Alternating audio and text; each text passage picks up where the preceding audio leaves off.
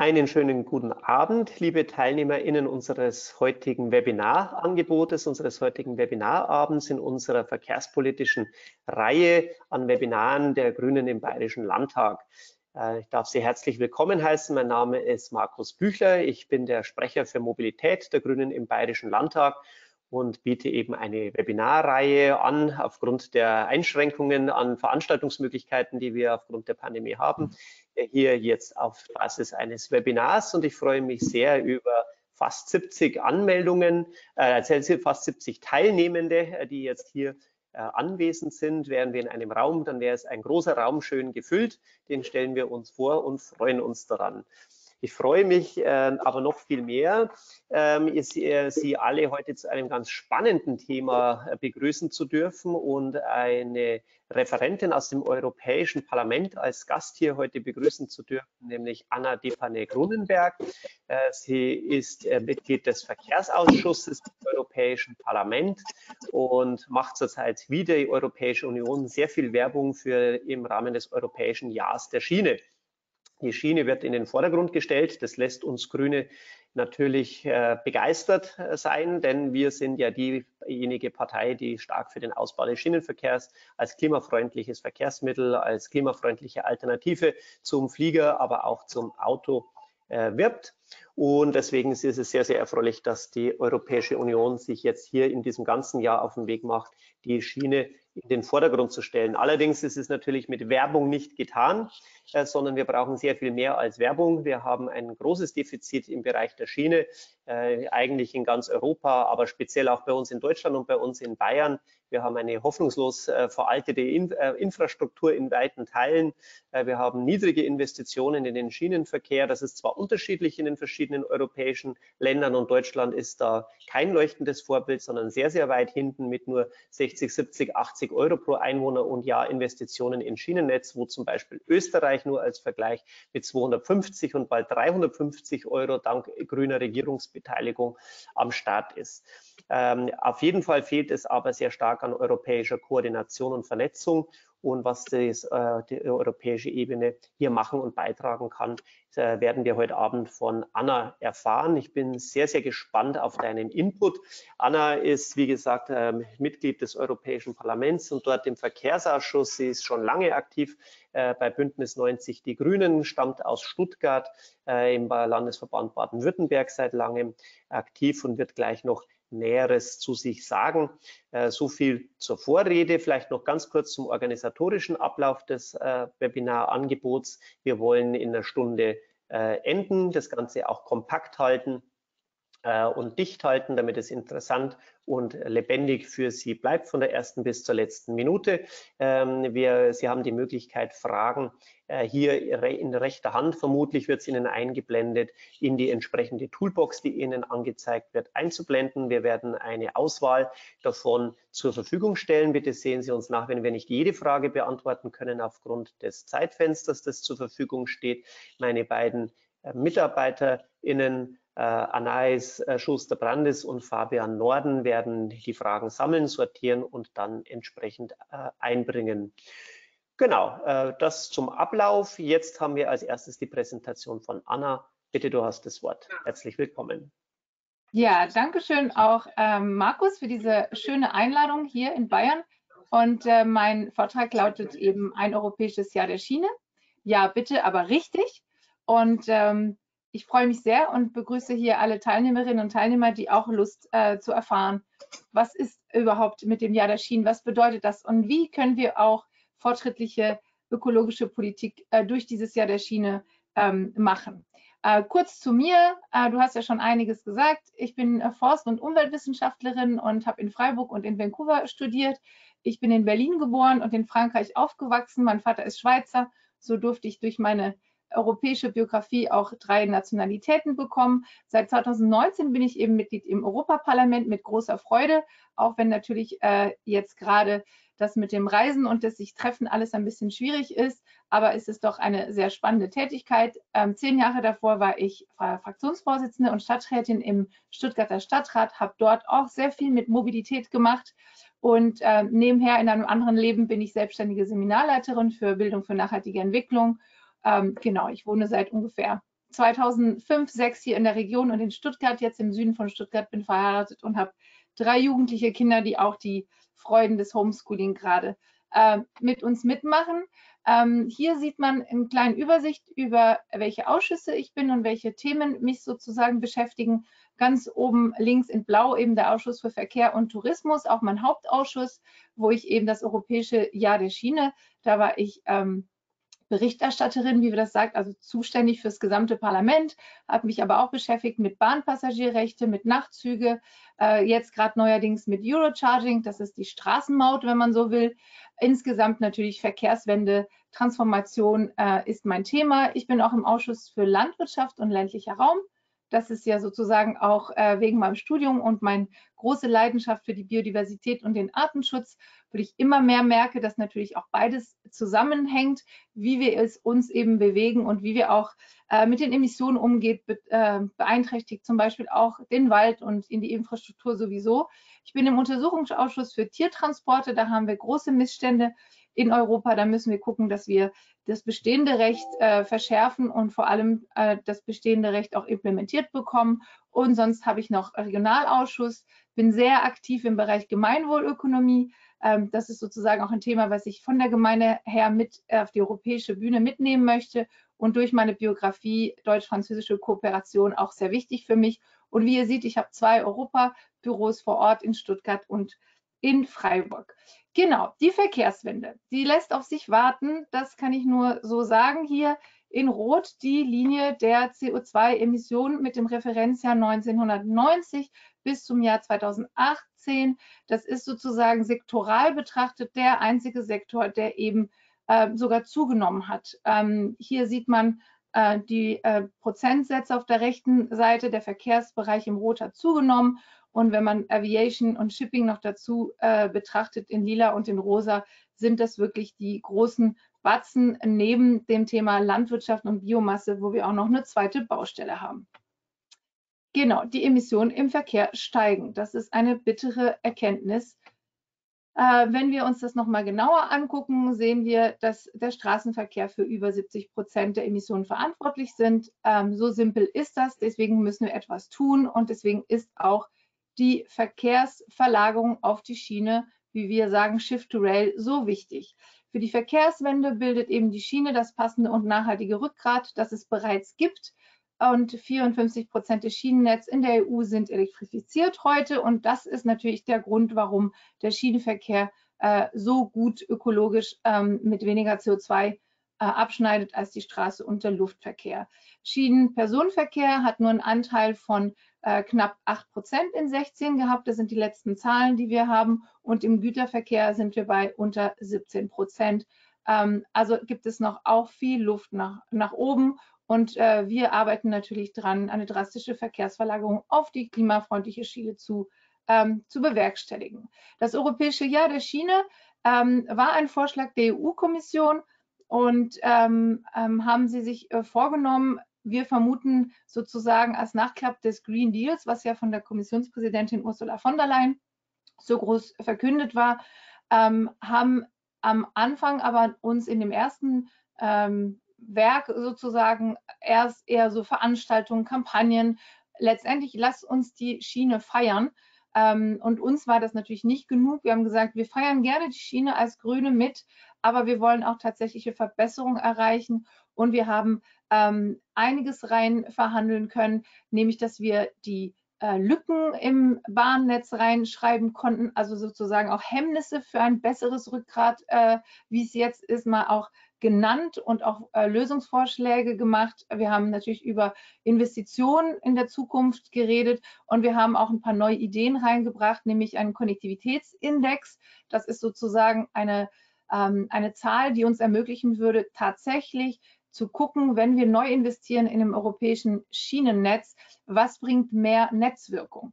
Ähm, weil wir wissen, ganz viele Großprojekte, Stuttgart 21, Let's Grüßen oder auch Lyon-Turin, ähm, äh, fressen enorm viel Geld, auch Zuschüsse von der Europäischen Union. Und sie sind äh, unterm Strich manchmal, sei es für die Zeit, die wir einsparen oder die CO2-Menge, die wir einsparen, aber auch die Netzwirkung sehr schlecht. Und man könnte das eigentlich errechnen und ähm, da war das ähm, Rechnungsprüfungs, ähm, heißt es jetzt nicht bei uns, das ist äh, Court of Auditors, hat sozusagen auch uns die Nase drauf gestoßen, ihr könntet das viel rationaler machen und das haben wir aufgenommen und gesagt, wir brauchen so einen Konnektivitätsindex.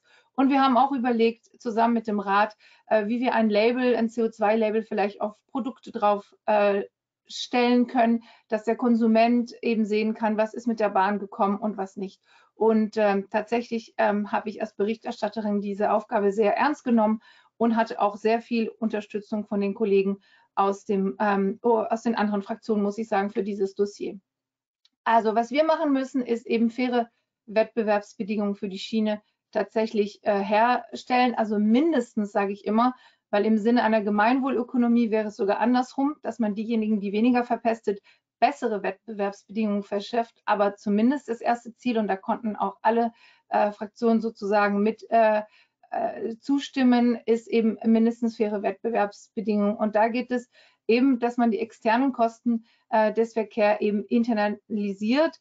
Und das, äh, bei der Schiene ist dieses Prinzip am weitesten fortgeschritten, aber eben ähm, im Gegensatz, äh, Gegensatz, dazu bei der Straße gar nicht. Und deswegen arbeiten wir auch als Grüne sozusagen Hand in Hand mit diesem Dossier, mit der Straßenmaut, mit dem Eurocharging, weil es muss sich da sozusagen ein, ein, fairer, ein fairer Grund äh, finden, sonst wird logischerweise, und das merken wir auch als ähm, als Benutzer und Benutzerin der Bahn, wenn ich äh, Zeit investiere in die Bahn und natürlich auch Umstiege hm, mit in Kauf nehme, wenn es aber dann noch teurer ist als alle anderen Möglichkeiten für mich als äh, Besteller, Bestellerin, dann ist es natürlich unfair und so können wir auch keine große Verlagerung, sei es im Schienenpersonenverkehr äh, oder auch im, im Güterverkehr. Und äh, die zweite Ungleichbehandlung, das ist eben die ähm, fehlende Kerosinsteuer im Bereich des Flugverkehrs oder auch keine Energiesteuer und sogar auf die internationalen ähm, Beziehungen haben wir in der Bahn eben Mehrwertsteuer,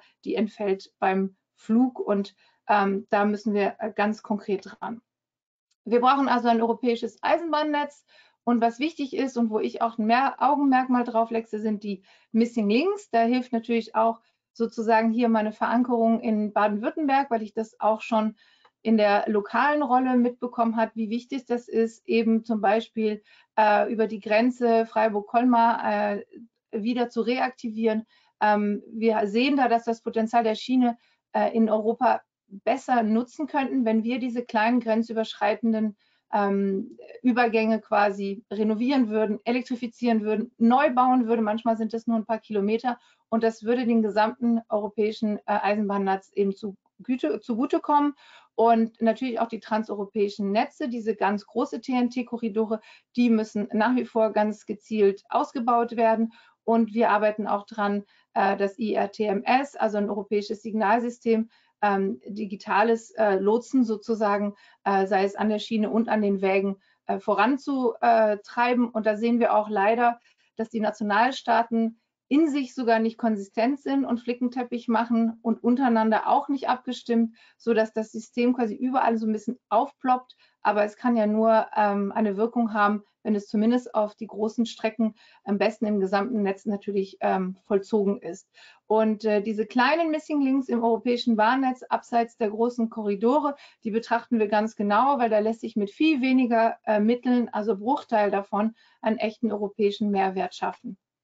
Hier hatten wir eine Studie von äh, DG Regio, äh, die wir auch äh, mit sozusagen äh, nachher auch ausgewertet haben und die sich auch damals eben in der letzten Wahlperiode mit einer Möglichkeit, äh, sich für diese Regionen und diese Länder um diese Lücken zu verschließen, auch ähm, partizipi äh, partizipieren, dass sie quasi auch von den CEF-Mitteln, von den europäischen Fonds quasi etwas bekommen. Ähm, leider jetzt mit dem neuen mehrjährigen Vertrag ähm, wissen wir nicht genau, wie viel für die CEF ähm, genau für diese Punkte reserviert werden sollen. Wir arbeiten noch dran. Aber ähm, das wäre uns ein sehr, sehr großes Anliegen, weil wir sehen, es gibt sehr, sehr viele Lücken überall und genau an den Grenzen. Das ist nämlich so, dass die Verkehrsplaner der jeweiligen Länder eben auch gelernt haben, wie ihr Land aussieht und genau in diesem, in diesem Bereich sozusagen ihr Netz geplant haben. Aber äh, wie man sieht, äh, Süddeutschland oder eben der Nordosten von Frankreich ist nicht das Ende der Welt, sondern auf der anderen Seite ist genauso weiter Europa und deswegen müssen wir an diesen Lücken ähm, und da kennt ihr euch auch in Bayern gut äh, aus. Da gibt es sehr, sehr viele Möglichkeiten eben, europäisch mehr zu denken. Hier sehen wir nochmal aus der, aus der deutschen Perspektive heraus, welche Projekte es gibt und da sind sie auch schon äh, begutachtet worden. Diejenigen in grün sind sozusagen low-hanging fruits, da gibt es sehr wenig, wo man noch investieren muss und äh, man könnte sozusagen die ähm, Ergebnisse ernten. In gelb sind diejenigen, wo es zwar noch ein paar Hürden gibt, aber wo man sich das in ein paar Jahren äh, vorstellen kann. Und da sehe ich auch ein Projekt in, äh, ähm, in Bayern, Passau, Waldkirchen, Frejung. Also gerne erfahre ich da auch mehr ganz präzise, wenn jemand da etwas weiß über diese eine Verbindung, wie wir auch helfen können vom Europäischen Parlament. Und dann haben wir noch ein paar äh, Strecken, die wichtig wären, aber die nicht so einfach sind äh, zu realisieren. Die Bahnen in Europa müssen attraktiver werden, also eben äh, hauptsächlich bei den Menschen, die sich über die äh, Grenzen auch fortbewegen wollen, äh, sind, sind die, ähm, die Kunden wirklich mit einem Tarifdschungel konfrontiert. Das ist etwas, was wir äh, jahrelang schon bemängeln. Ähm, die Tickets sind manchmal gar nicht buchbar über eine gemeinsame äh, Plattform oder die Fahrgastrechte sind eingeschränkt, weil es sich eigentlich um einzelne Tickets ähm, ähm, handelt. Und das sind zum Beispiel für äh, lange Strecken oder auch Buchung von Nachtzüge äh, wirklich problematisch. Man stellt sich vor, eine Familie möchte sich umstellen und möchte eben die äh, Angebote von Nachtzug mit der ganzen Familie und drei Kindern mal nutzen. Wenn aber der Zubringer äh, Zug quasi Verspätung hat und niemand dafür Verantwortung übernimmt, dass man eben den Nachtzug, den man dann sich doch äh, geleistet hat, irgendwie nicht erreichen kann, dann ist es natürlich für das gesamte, die gesamte Strecke von A nach B ähm, einfach sehr unattraktiv und risikoreich. Und ähm, deswegen brauchen wir ähm, einfach eine einfache Suche im Internet mit einer guten Plattform und die gewünschte Ticketbuchung und auch die Gewährleistung äh, muss möglich sein. Und technisch, wie wir alle wissen, wäre es ja überhaupt kein Problem. Es geht ja eher darum, dass die verschiedenen äh, Bahnunternehmen ihre Daten nicht freigeben wollen und auch die Europäische Union bisher nicht genug Druck macht, dass das erfolgen soll.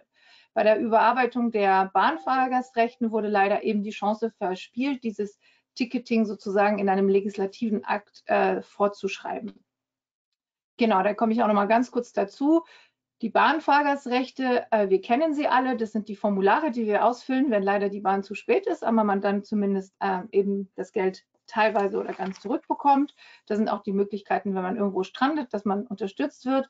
Ähm, ich muss sagen, in der, in der Novellierung dieses äh, Bahnfahrgastrechte, ich bin da eingestiegen, war sehr glücklich. Das war eines meiner ersten Dossier, wo ich dachte, oh, da hat das Parlament aber mal richtig einen draufgelegt. Das ist gut. Wir wollen den Green Deal, wir wollen CO2 sparen, wir müssen die Bahn stärken. Also werden die Bahnfahrgastrechte wirklich stark werden oder stärker, als sie jetzt sind.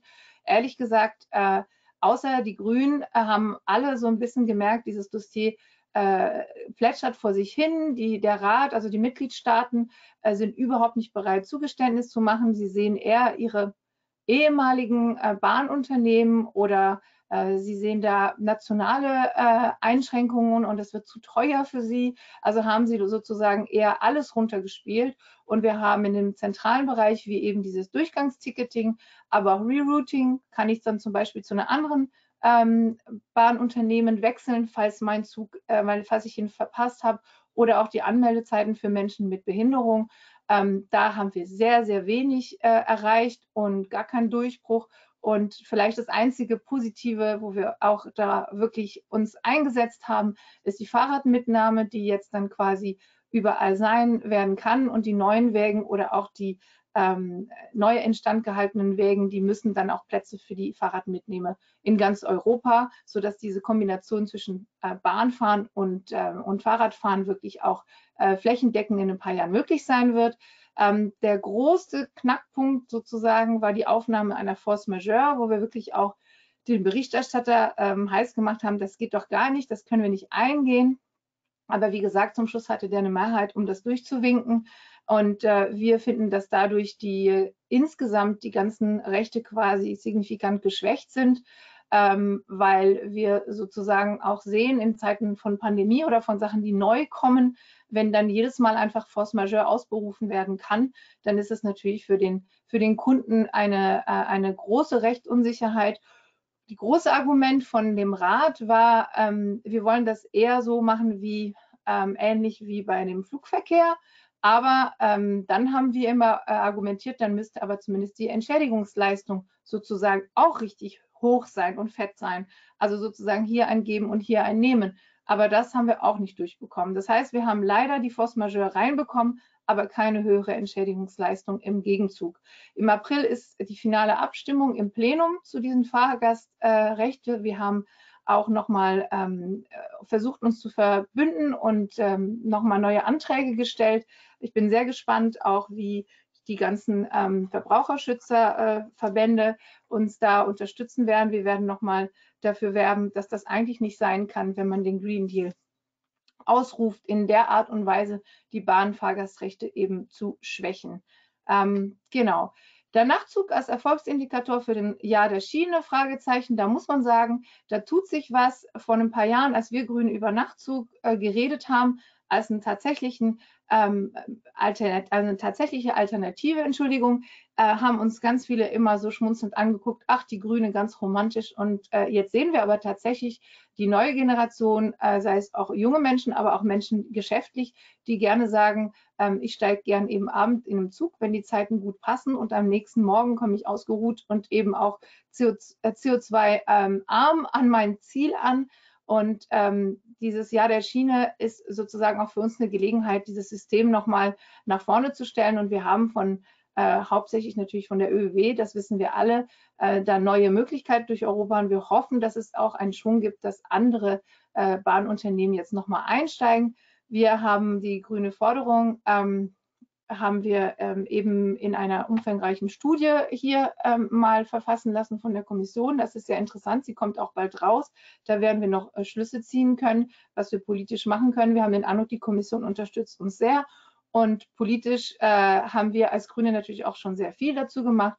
Und auch bei mir äh, im meinem Büro dürft ihr, wenn ihr Lust habt, diese, diesen Poster, das ist ein großen Flyer sozusagen, mit dem Nachtzug quer durch Europa. Könnt ihr gerne bei mir anfragen, sende ich euch gerne zu. Da sieht man ähm, die meisten äh, Bahnverbindungen und ist auch für viele Menschen unbekannt, dass das System schon äh, einiges abdeckt. Äh, weit noch nicht das, was wir uns vorstellen als echtes Verkehrsmittel durch die Nacht, aber ähm, wir arbeiten noch an einem Netz und wollen natürlich dann auch dafür werben.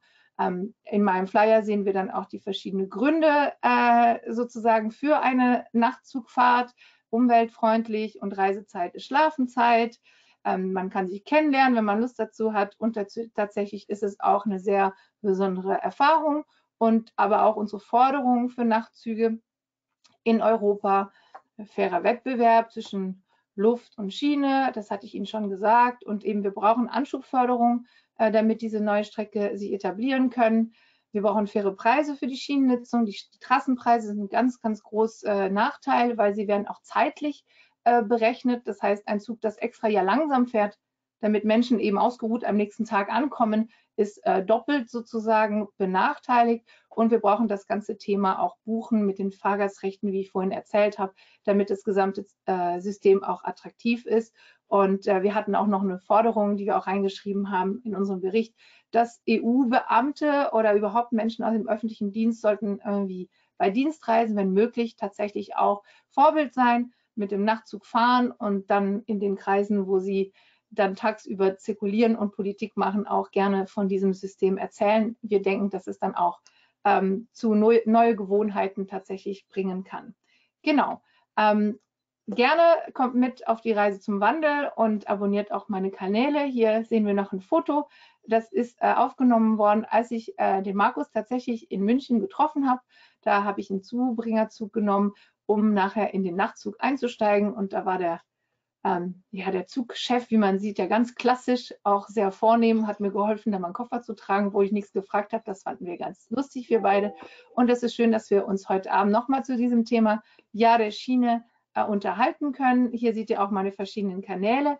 Bei dem Jahr der Schiene haben wir jetzt tatsächlich viele Anfragen, Vereine, ähm, aber auch private Menschen, die sich überlegen, wie könnten wir uns besser vernetzen mit dem Jahr der Schiene. Wir sagen, bewirbt euch, das ist ganz wichtig. Wir werden jetzt das Jahr der Schiene, weil das Jahr 21 doch schwierig ist für viele Events zu machen. Äh, wir werden die Projekte bis in das Jahr 22 fortführen. Also mehr oder weniger wird dieses Jahr der Schiene ein binäres Jahr der Schiene. Äh, bis ins Jahr 22 werden wir dann auch Projekte sehen Und wir ermutigen auch alle Möglichkeiten, ähm, die ja sozusagen in den Hygienevorschriften gerade noch klappen, sei es im Radio oder eben Online-Veranstaltungen, dass die Menschen, die auch Lust haben, sich über diesen paneuropäischen Diskurs zu beteiligen, was braucht die Schiene, um das Rückgrat der Zukunft zu sein? Was muss die äh, Gesellschaft da investieren? Wie geht es jetzt mit dem Recovery-Plan weiter, also mit diesem Wiederaufbau? Äh, Gelder sozusagen, wie geht es weiter, wie viel wird im Bereich Klimaschutz der Schiene äh, gebilligt werden. Da glaube ich, die Gesellschaft und insgesamt wir auch äh, als Bahn, äh, ähm, Bahnliebhaber und Liebhaberin auch gerne nochmal mehr Druck zu machen, weil jetzt ist sozusagen der Diskurs da und die Möglichkeiten werden in den nächsten Monaten sicherlich da sein, um, um sich einzubringen. Genau, das wäre es von meiner Seite. Vielen Dank. Ähm, ich hoffe, ihr konntet einiges mitnehmen und ich freue mich auch sehr auf eure Kommentare und Fragen. Vielen herzlichen Dank, liebe Anna, für diesen kompakten und, obwohl es komplizierte Fachthemen betrifft, auch sehr, sehr verständlichen Überblick. Äh, hat Spaß gemacht, dir zuzuhören. Mir jedenfalls und bestimmt auch unserem Auditorium von inzwischen schon 81 Personen. Ähm, das sehr schön an den Webinaren ist ja, dass man sich so unkompliziert ähm, zuschalten kann. Schade allerdings für die Referierenden ist, dass man den Applaus nicht hört. Äh, insofern äh, stellvertretend von meiner Seite der Applaus des Auditoriums. Vielen Dank, Anna als wir die tollen Fotos äh, in, am Münchner Hauptbahnhof gemacht haben, bin ich kurz davor auch von einer langen Nachtzugreise zurückgekommen, die mich bis nach Tibet geführt hat unvorstellbar in heutiger Zeit, äh, wie es noch vor kurzem möglich war, die Grenzen zu überwinden und äh, einfach in Europa und darüber hinaus in dem Fall für mich sogar bis nach Asien mit dem Zug zu fahren. Und wir hoffen natürlich alle sehr, dass sehr schnell jetzt wieder eine Normalisierung mit dieser grauenhaften Pandemie eintritt und wir wieder Grenzen äh, überwinden können. Denn gerade so aus bayerischer Sicht ist es momentan ja ganz, ganz fürchterlich, wie abgeriegelt wir sind. Ja. Ähm, auch für die GrenzpendlerInnen ähm, ist momentan eine äußerst bedrückende Situation, die, die wir äh, an den Grenzen haben. Äh, ich hätte noch äh, selber eine Frage, bevor wir ähm, dann äh, sofort versuchen, möglichst viele von den Publikumsfragen aufzugreifen. Aber eins würde mich noch interessieren und ich hoffe auch einen Teil unserer Teilnehmenden hier.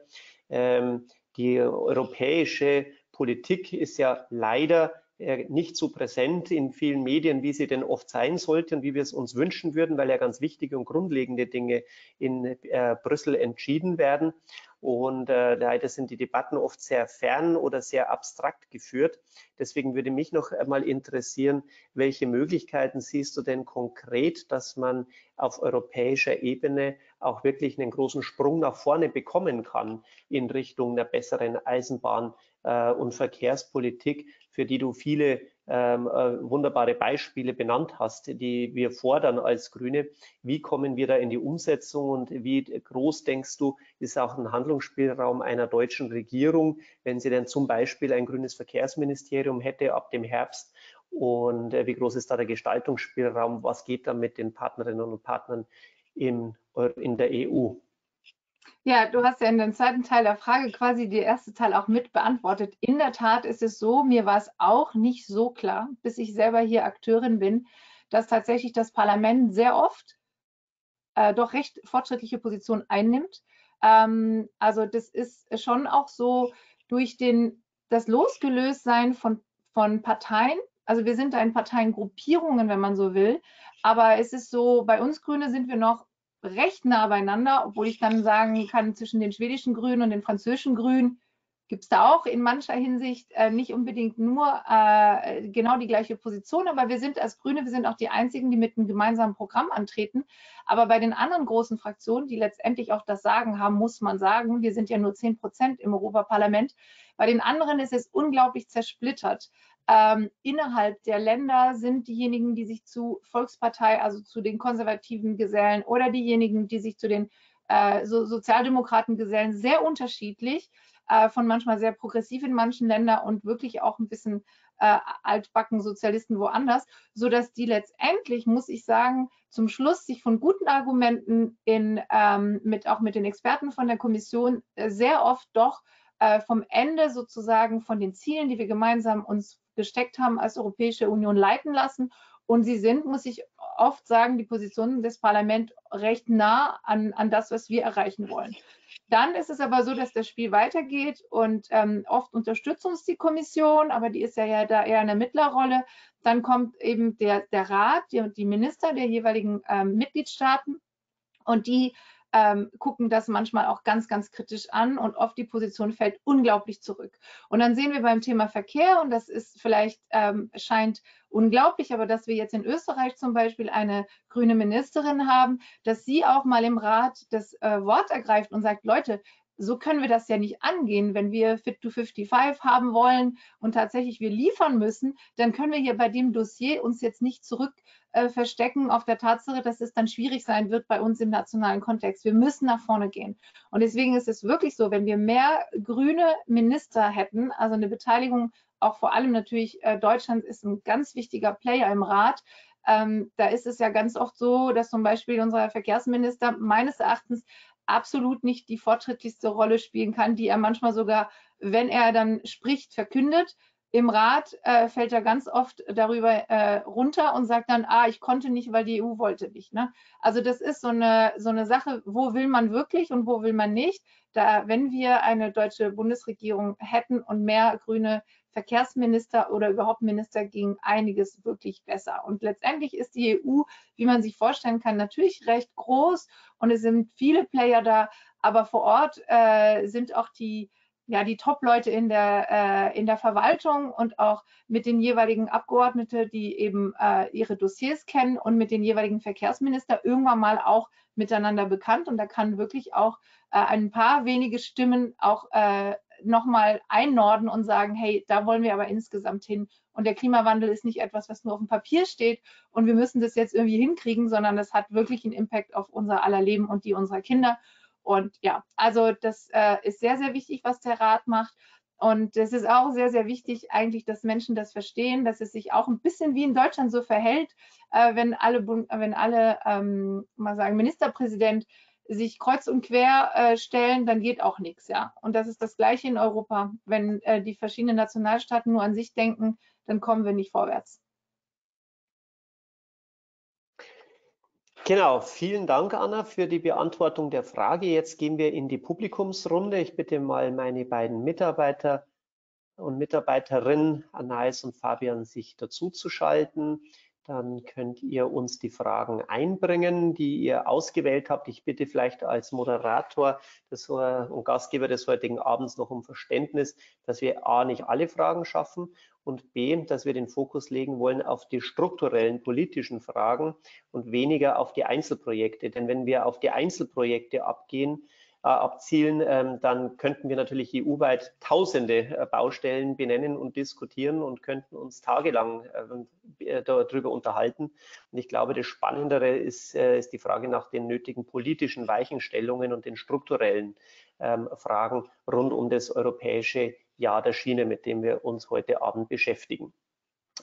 Anais, was ähm, habt ihr denn an Fragen herausdestilliert aus den vielen, die dankenswerterweise gestellt worden sind?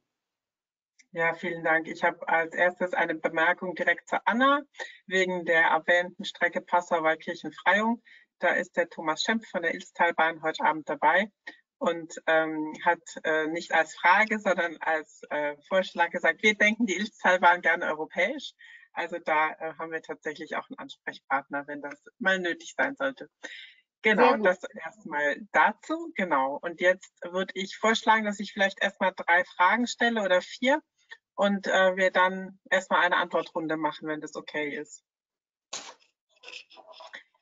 Dann geht es als erstes um die Elektrifizierung der Strecken mit der Frage, dass es nach einem Gutachten der TU Dresden ähm, wirtschaftlich ist, eine Strecke zu elektrifizieren, wenn mindestens im Stundentakt gefahren wird, kann sich die EU vorstellen, dass bis 2035 sämtliche Strecken zu elektrifizieren und mit Ökostrom zu betreiben sind. Das als erste Frage zum Zeitrahmen für eine eventuelle Flächenelektrifizierung. Dann ähm, eine Frage nochmal zu den Fernverkehrszügen, ähm, die eben auch äh, wichtig sind für die Umsetzung des Paris-Abkommens äh, und den, die CO2-Reduktion. Ähm, also sozusagen im Rahmen der Gesamttransformation äh, des Verkehrs. Was ist in den Augen der Grünen der Treiber, äh, der veranlasst, dass Personenfernverkehrszüge in Europa in hinreichender Zahl verkehren? Also wie bekommt man mehr Fernverkehrszüge mit Personen auf die Schiene? Ähm, zum Beispiel die Frage nach äh, Senkung der Trassenpreise. Wer würde das finanzieren? Staatliche Zuschüsse beim Kauf von mehr Systemzügen, ähm, europäische PSO, Public Service Obligation oder verbindliche Modal Split Vorgaben für die klimafreundliche Schiene. Also was sind sozusagen die wichtigsten Hebel für die Grünen bei, beim Umbau? Und ähm, dann noch eine Frage zu, die ein bisschen anders ist, zum studentischen Fahren. Ähm, ein Student mit der in einer studentischen Initiative für ähm, äh, sich einsetzt, fra äh, fragt, was gibt es für Möglichkeiten, sich da mehr einzubringen beim Jahr der Schiene. Und dann kommt dazu noch die Frage, äh, wie stehen wir dazu für Erasmus-Studierende und unter 18-Jährige und äh, das Bahnfahren äh, billiger oder erschwinglich zu machen. Also die Frage lautet dann genau, ähm, ein kostenloses Interrail-Ticket bekommen sollten, nicht auch, also, also soll es Erasmus, äh, für Erasmus-Studierende nicht auch ein Zugticket geben, damit sie nicht fliegen, sondern Zug fahren.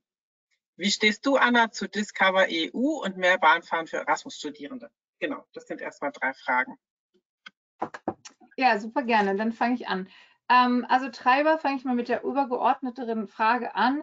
Ähm, natürlich sind alle letztendlich die genannten Sachen genau das, was wir uns vorstellen.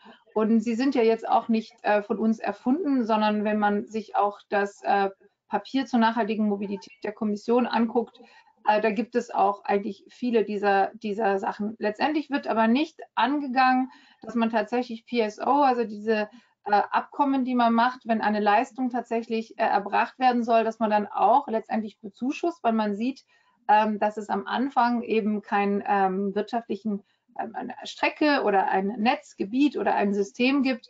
Äh, da sind wir sehr dafür, dass wir das äh, ausweiten sollten.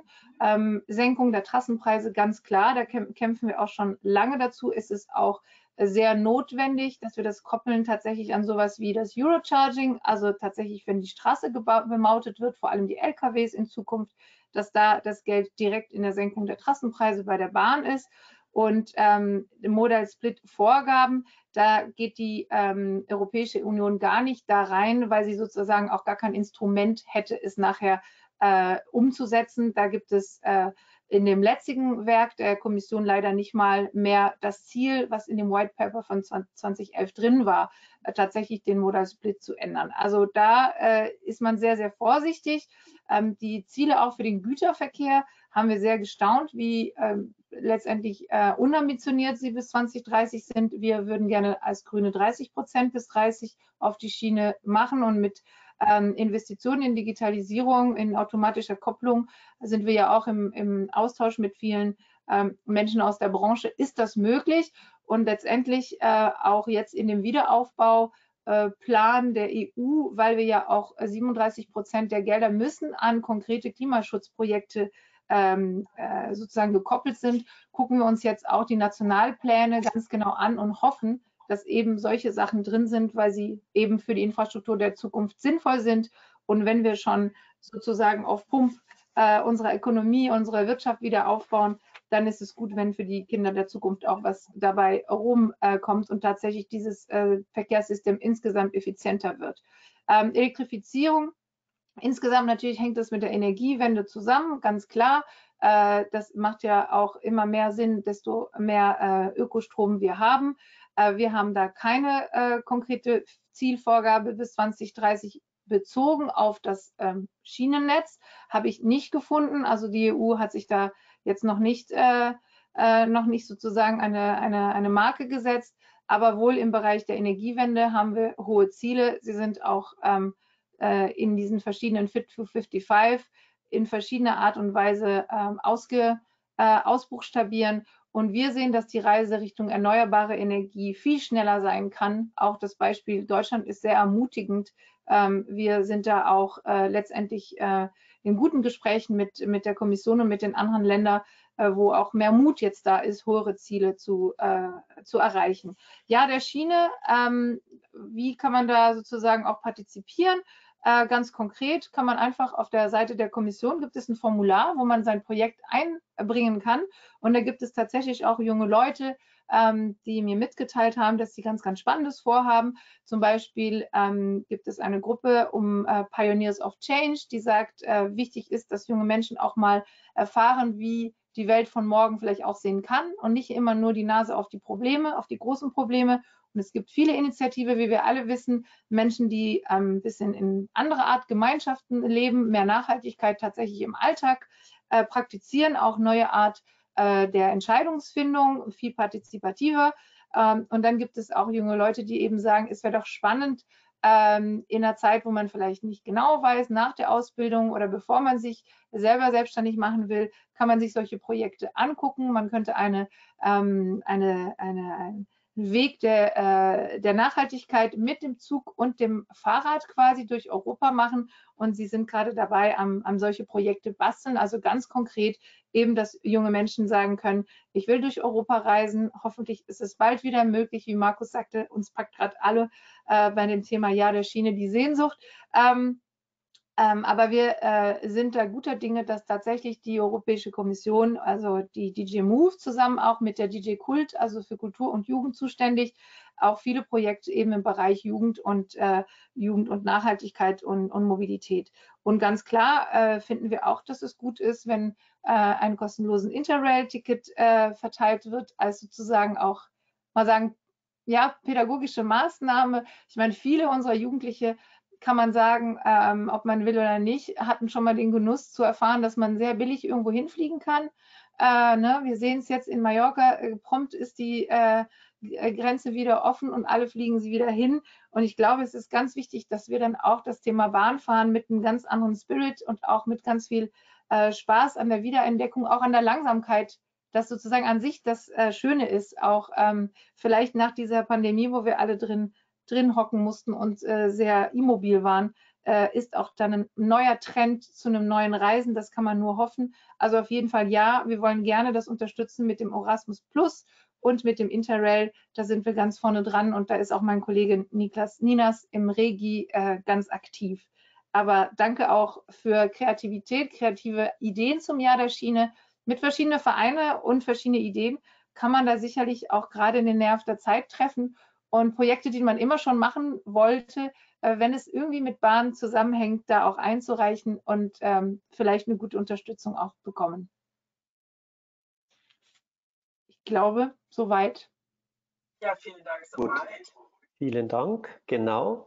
Äh, vielleicht noch eine kurze Zwischenbemerkung von mir. Ich habe auch so ein bisschen nebenbei äh, in die Fragen hineingeschaut. Es sind einige Fragen, die ähm, da die nationale oder auch sogar bayerische Fragen betreffen, sei es zum Beispiel im Schienenpersonennahverkehr, Fragen nach der, für die sind die äh, Bundesländer zuständig in Deutschland, in, unserem Fall Bayern, Fragen nach der Reaktivierung von Eisenbahnstrecken. Auch das ist eine Frage, die weniger die Europäische Union tangiert. Zwar bei Lückenschlussprogrammen ist die EU sehr wohl ähm, nicht an Bord ähm, oder aufgerufen zumindest, aber im Allgemeinen äh, sind Reaktivierungsfragen dann Fragen der Nationen beziehungsweise der Regionen oder der Bundesländer.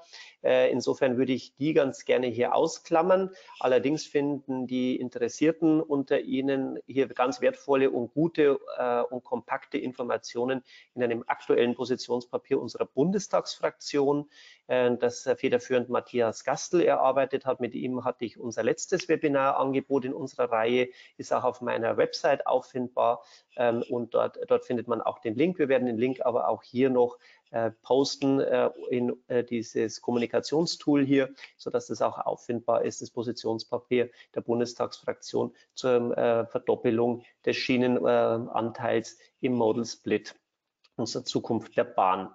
Äh, genau, da findet man also viele nationale Fragen beantwortet, jedenfalls wie wir Grüne uns die Lösung der Herausforderungen vorstellen. Dann gebe ich wieder zurück an Anais. Ja, vielen Dank. Ähm, dann machen wir so eine zweite Fragerunde jetzt erstmal. Und zwar sind einige Fragen noch eingegangen konkret zum Europäischen Jahr der Schiene. Ähm, zum Beispiel gibt es bei der EU Überlegungen, das Europäische Jahr der Schiene um ein Jahr zu verlängern. Denn durch die pandemiebedingten Einschränkungen ist dieses Marketinginstrument ja nur wenig einsetzbar und nutzbar. Ähm, und noch eine Frage zum Jahr der Schiene. Wo die Förderanträge zu finden sind, das kann man bestimmt so beantworten. Ähm, und noch eine weitere Frage war, ob es eine Liste und Übersicht aller Initiativen und zivilgesellschaftlichen Akteure gibt, die am Year of Rail partizipieren bzw. sich einbringen. Genau, und dann gab es auch noch eine Rückfrage zu den Fahrgastrechten ähm, einmal. Und zwar, wie genau werden Fahrgastrechte von der Force Majeure beeinträchtigt, beziehungsweise was genau würde denn in diesem Gesetz stehen? Ja, äh, die letzte Frage, der Anfang, den habe ich jetzt verpasst. Nochmal? Entschuldigung. Ähm, was, Genau, was äh, das war zu den Fahrgastrechten. Was ja. genau würde denn äh, sozusagen die Fahrgastrechte, welche Fahrgastrechte genau werden geschwächt durch Force Majeure? Ja, ah, jetzt habe ich, sorry. Ähm, Und also was würde konkret im Gesetz stehen, genau. Genau, ja. Also ähm, erstmal zu den Förderanträgen. Dann muss man äh, auf der Seite der Europäischen Union gehen, DG Move, also Direction Generale Mobilität, die heißt DG Move und mit dem Suchbegriff EU Year of Rail findet man eigentlich die Erklärung, was das ist und auch äh, das Formular sozusagen oder die Methode, um Förderanträge auch online darzustellen. Ähm, sehr gerne, wenn auch jemand ein ganz konkreten Projekt hat, ähm, kann man auch gerne äh, zu mir äh, nochmal outreachen und, und, mal einfach fragen. Ähm, aber gerne könnt ihr auch einfach eure Projekte da reinschreiben. Äh, natürlich, wenn äh, Vereine sozusagen, äh, die kennen das auch schon, die wissen dann auch vielleicht, wie man das ähm, so formuliert, dass es gut ankommt. Äh, die Verlängerung bis 22 war während der äh, äh, Verhandlung auch schon Thema und es wurde uns tatsächlich auch äh, gesagt, dass man auf jeden Fall nicht am 1. Januar 22 die Förderanträge einfach nicht mehr angucken wird, weil man ja hofft, tatsächlich auch ein bisschen mehr Debatte im öffentlichen Raum zu haben Festivals, äh, wie auch immer, äh, ähm, Museen, die sich damit beschäftigen, sogar die Idee, dass Bahnhofhallen ähm, auch ein bisschen über das Jahr der Schiene äh, sozusagen visuell aufbereiten. Das wird dieses Jahr, wenn dann überhaupt ein halbes Jahr möglich, wenn man sehr optimistisch ist. Und äh, offiziell ist noch nicht ganz das Jahr 22 entschieden, aber es wurde quasi in den Verhandlungen schon damals gesagt, bis in das Jahr 22 werden wir, werden wir das Programm fortführen. Wir werden bald nochmal auf dem Zahn fühlen der Kommission, ob wirklich mal jetzt das Jahr 22 in Gänze oder nur bis zum Sommer, wie, wie das jetzt da vorgesehen wird, weil viele Projekte und auch gerade ist die Zeit schwierig, sich zu projizieren in die Zukunft, werden wahrscheinlich nicht eingereicht werden vor dem Herbst, wenn wir ein bisschen mehr Klarheit haben. Ähm, genau, und die letzte Frage eben zu der Force Majeure. Letztendlich ist das äh, in einem Katalog äh, festgeschrieben, jetzt ähm, während der Verhandlung gewesen, welche Fälle zu einer äh, Force Majeure führen. Und das führt dann dazu, dass man eben als äh, Passagier ähm, quasi nicht das Recht hat, eine Rückerstattung oder eine Rerouting, also eine neue Verbindung angeboten zu bekommen, weil es sozusagen nicht der Schuld des Bahnunternehmens ist.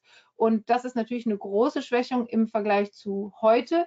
Ähm, und das äh, Schwierige daran ist eben die Rechtsunsicherheit, weil auch direkt ähm, ja, Verbraucherschutzorganisationen gesagt hat, aber wie bin ich mir sicher, dass die, ähm, das Bahnunternehmen tatsächlich äh, so eine Force Majeure unterliegt oder nicht das ein bisschen zu weit ausführt für sich selbst. Und dann hat die ähm, Kommission gesagt, ja, dann können Sie es dann äh, vor dem EuGH quasi erstreiten. Und das ist natürlich auch ein bisschen sehr schwache Position der Politik, finde ich insgesamt, dass man sich selber quasi gar nicht so sicher ist, was man da reinschreibt, äh, ob das äh, rechtssicher ist und von vornherein, bevor es überhaupt äh, sozusagen angewandt wird, schon sagt, ja, und wenn es Probleme geben wird, in Klammer, die vermuten, dass es welche geben wird, dann kann man ja schon zum EuGH gehen. Wir waren da wirklich sehr dagegen und ähm, haben gesagt, eine Force Majeure ist wirklich etwas, was die ähm, Bahnfahrgastrechte so sehr schwächt, dass wir es eigentlich eine Schwächung sehen im Vergleich zu der letzten, ähm, zu dem letzten Werk. Und ähm, wir können uns das eben nur äh, so vorstellen, dass am Anfang die Kommission sagte, wir erheben äh, die Pauschalrückerstattung vielleicht, ähnlich wie bei dem Flugverkehr. Das wurde dann auch rausverhandelt. Und das, das andere ist dann äh, in dieser Phase, wo die Bahnunternehmen es jetzt besonders schwer hatten, logischerweise durch den enormen Verlust der Fahrgäste, dass da quasi die Stimmung so ein bisschen gekippt hat und man dann doch ein bisschen mehr äh, für die Bahnunternehmen äh, tun wollte. Aber insgesamt glaube ich nicht. Ich glaube, die haben sich da auch ein bisschen in eigene, eigene Knie geschossen. Das ist sehr bedauerlich. Ähm, genau, also ähm, das sind, glaube ich, die drei Fragen, die es gab. Ich hoffe, ähm, genau, ihr habt da das rausgepickt, was euch interessiert hat.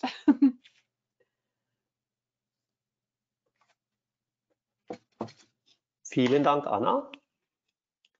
Nice. Haben wir noch ja, weitere Fragen? Ja, haben wir haben noch einige Fragen und wir können, ich kann gerne noch ein paar Fragen einbringen. Es gab mehrere Fragen auch ähm, zum äh, Verhältnis von Elektrifizierung von Lkw-Güterverkehr und Schiene, weil es da ja jetzt auch ähm, Teststrecken und äh, Bestrebungen gibt, den ähm, Lkw-Verkehr zu elektrifizieren und wie kann man da äh, sozusagen, wie kann man da die Schiene stärken. Und ähm, dann eine Frage zur Fahrradmitnahme im äh, Zug. Ähm, äh, obwohl äh, da sozusagen erste Schritte getan wurden, äh, vier Radstellplätze pro Zug.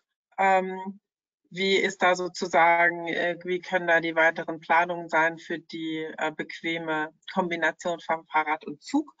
Und dann haben wir doch zu einem Projekt ähm, noch eine konkrete Frage, äh, nämlich ähm, den Brenner Nordzulauf. Aber die Frage ist übergeordnet, deswegen stelle ich sie jetzt ähm, hier gerne. Und zwar, äh, wie kann sich die EU dafür einsetzen, dass Lärmschutz nach Neubaustandard bei Ausbau der TENT-Strecken Basisbrennertunnel Nordzulauf umgesetzt wird und ähm, die allgemeinen Fragen, ähm, wie stehen wir zu dem äh, Ausbau des Brenner Nordzulaufs im Allgemeinen, wobei das wahrscheinlich eher eine Frage für den Markus ist auf bayerischer Ebene. Wie ist der Stand zum Brenner Basistunnel? Kommen wir da in Bayern zu spät?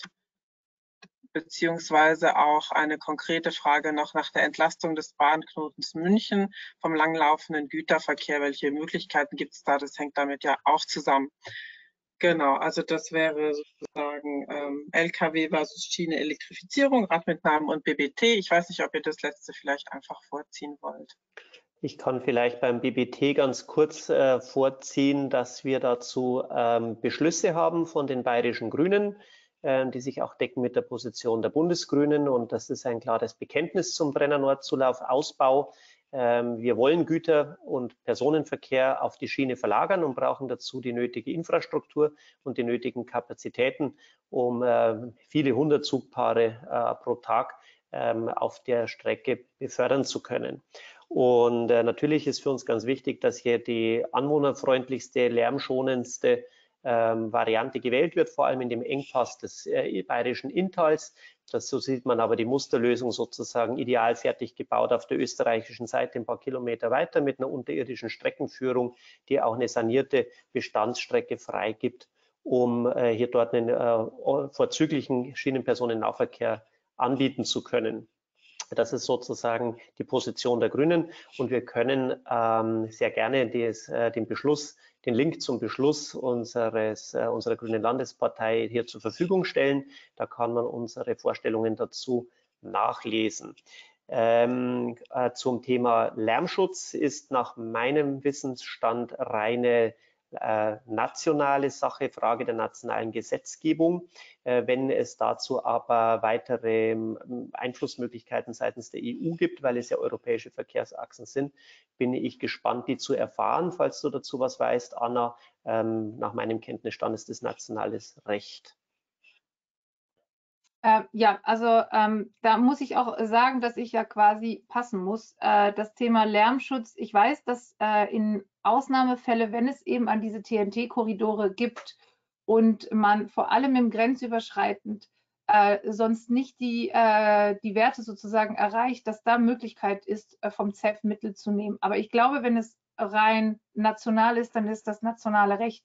Da müsste ich mich aber erst noch mal ähm, ganz besonders erkundigen, wie es sich auf sich hält. Da muss ich sagen, habe ich mich noch nicht damit äh, in der Tiefe beschäftigt. Auch vielen Dank, dass du zum Brenner ähm, eure Position, also wir bekommen das natürlich auch von Baden-Württemberg und von Europa mit, äh, dass es eine schwierige Geschichte ist und ähm, ähm, äh, es ist äh, schön, dass du da eine präzise Antwort haben konntest. Ähm, zum Thema Lkw-Elektrifizierung, da laufen tatsächlich einige Pilotprojekte äh, versus Elektrifizierung der Schiene. Da muss ich sagen, da bin ich äh, doch eine vielleicht nicht ganz äh, objektive, aber ich finde, wenn man so ein tolles System hat wie die Schiene, das, wie wir eingangs gesagt haben, äh, noch nicht zu also erst zur Hälfte zu 54 Prozent elektrifiziert ist und wir da eigentlich die ganze Stärke letztendlich auch äh, der Übertragung der Kraft nutzen können durch die Schiene, dann äh, leuchtet es mir nicht so ganz ein, warum wir uns jetzt da auf die Straße äh, vorstellen, das alles zu verkabeln und so weiter und so fort. Wir sollten eher in die Mobilitätshub, also in der Übertragung von Container und containerweise in Güterverkehr da investieren mit der automatischen Kopplung und mit der Tatsache, äh, da schwebt mir so Sachen vor, die wir machen könnten. Ähm, LKWs, die tatsächlich nur regional, lokal Container zu dem nächsten äh, Güterbahnhof fahren, äh, dass wir da sozusagen auch vielleicht mit einer zukünftigen Maut äh, sagt, da wird die Maut auch viel günstiger, weil man ja eigentlich langfristig, also auf der langen Strecke die Bahn nutzen will. Da könnten wir viel mehr machen, um die beiden Systeme gut zu interlinken. Wenn wir jetzt anfangen, äh, die Elektrifizierung auch vor allem äh, sozusagen da über diese, habe ich mir auch angeguckt, ist sehr beeindruckend, aber es könnte noch dazu führen, dass wir eine Verteilung haben äh, von vermeintlich beides ist ökologisch und gut, aber dann wäre dann das Problem, dass wir die Straßeninfrastruktur nochmal ausbauen müsste, enorm und würde auch sehr viel Schaden anrichten, meines Erachtens. Also ich bin da äh, eher, dass wir sagen, das äh, Rückgrat soll die Schiene sein, da haben wir sehr evidente Schritte zu tun. Investitionen sind ganz klar, was getan werden muss. Wir kennen die Systeme. Wir müssen noch an den Schnittstellen arbeiten und sehe ähm, letztendlich sei es über die Elektrifizierung von klassischen LKWs, aber auch diese ganze Idee des autonomen Fahren mit den ganzen LKWs, die dann letztendlich dann auch wieder einen Zug bilden würden auf der Autobahn. Äh, autonom äh, sehe ich da eher ein bisschen eine Verzettelung der Aufgaben, die wir, äh, die wir zu tun haben. Und mit der Fahrradmitnahme ähm, wie geht es weiter? Also wir haben da gekämpft für diese mindestens vier Plätze pro Zug. Es erscheint in manchen Ländern und manchen Züge lächerlich, weil wir längst schon mehr haben. Wir haben sehr, sehr stark argumentiert, ähm, dass letztendlich dieser Raum, der im Zug dann entsteht, wenn er gerade nicht von Fahrradfahrenden benutzt wird, auch vielfältig benutzt werden kann für Menschen mit Schlitten oder Kinderwagen oder was auch immer man, äh, man transportiert. Und für Menschen, die viel Zug fahren, wissen Sie auch in diesem äh, in diesen Abteil äh, ist auch immer sehr schön, sich aufzuhalten und ein bisschen Platz zu haben für größere Gegenstände. Und wir hoffen und wir sehen auch die Entwicklung zumindest in mancher Länder, dass sie jetzt sagen, wenn wir ohnehin jetzt schon sowas planen müssen, weil die EU das vorgibt, äh, dann lass uns doch einen halben Waggon machen. Das ist dann in der Planung doch einfacher mit äh, Klappsitze oder wie auch immer. Also wir hoffen, dass das Signal da jetzt ist, ihr müsst sowieso die vier machen. Ähm, aber vielleicht überlegt euch mal, wie ihr das in einem sinnvollen Konzept, damit es auch attraktiv ist äh, für die Kunden. Und wir hoffen, dass da, dass da noch mehr kommt. Aber wie immer ist es natürlich für jemanden, der sich entscheidet, unterwegs zu sein mit seinem Fahrrad, äh, ist es schade, wenn er sozusagen nur jeden zehnten Zug heutzutage nehmen kann, wenn er sich nicht sicher ist, wie die Reise weitergeht. Deswegen müssen wir da auch noch ganz äh, stärker für diesen äh, für, für diese, diese Kombination werben. Und was uns ganz wichtig war, ist, dass es tatsächlich auch, wir haben es dann im Trilog dann auch lustigerweise Ready to Bike genannt, also letztendlich ein Fahrrad, was man nicht abmontieren muss, was man nicht einpacken muss, sondern einfach ein Fahrrad, was man quasi dann einfach direkt fahren kann. Weil ich denke, das ist auch grauenhaft für Menschen, die es schon ausprobiert haben, dass in jedem Land äh, braucht man eine Tasche, dann muss man die Räder abmachen und das ist dann einfach überhaupt gar kein Spaß mehr. Deswegen haben wir dann auch äh, das reingeschrieben in den, in den Fahrgastrechten. Das war, das war ein guter Erfolg. Genau. Ähm, ja, und äh, zum Thema Brenner bin ich jetzt äh, eher äh, Straßenseite durch die Eurocharging, also durch die Straßenmaut und die möglichen Zuschläge oder Nichtzuschläge sehr beschäftigt. Ähm, aber tatsächlich ähm, den Nordzulauf, da muss ich mich nochmal vertieft einlesen, gebe ich zu. Aber apropos Charging könnte man vielleicht noch dazu sagen, dass wir Grüne, glaube ich, länderübergreifend an einem Strang ziehen, um eine echte Güterverlagerung dann auch wirklich zu erreichen und nicht nur Bahnstrecken zu bauen, die dann nicht benutzt werden, äh, wollen wir eine massive Anhebung der Lkw-Maut international die Österreicher sind ja da schon sehr weit vorne. Die Österreicher ja. fordern auch ein Korridormaut, die Möglichkeit, eine Korridormaut auf besonders sensiblen Strecken einzurichten.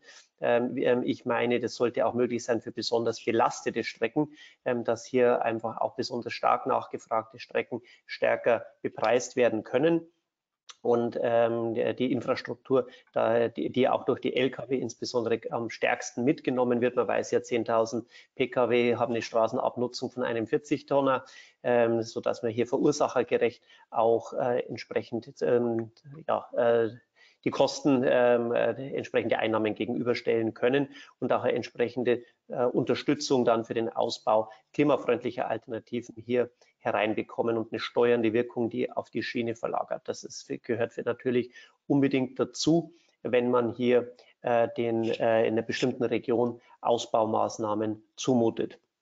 Ich denke, wir haben jetzt uns eine Stunde intensiv zum Thema Europäisches Jahr der äh, Schiene ausgetauscht.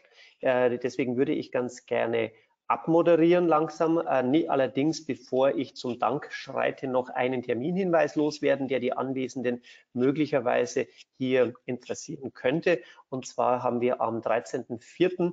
gleich äh, beim nächsten Webinar dieser verkehrspolitischen Reihe den nächsten hochkarätigen Gast, nämlich keinen geringeren als den Bundestagsfraktionsvorsitzenden der Grünen und mutmaßlich äh, bayerischen Spitzenkandidat äh, der, äh, anstehenden Bundestagswahl, nämlich Toni Hofreiter.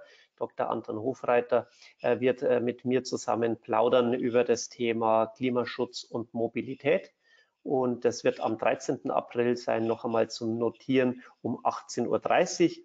Man findet auch diesen Termin und die Anmeldemöglichkeit auf derselben Seite, wie Sie und ihr hierher gefunden habt, nämlich unter grüne Fraktion bayern.de.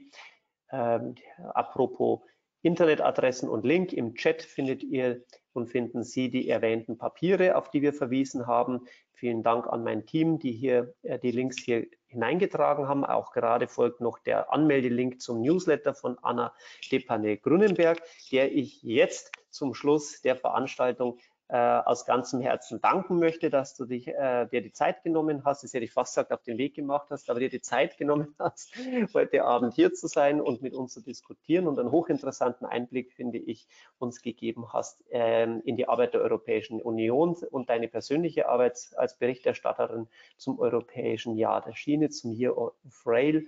Und äh, ich würde mich sehr, sehr freuen, wenn wir uns bald mal wieder persönlich äh, treffen können und vielleicht auch mal wieder zu einer weiteren Webinarrunde.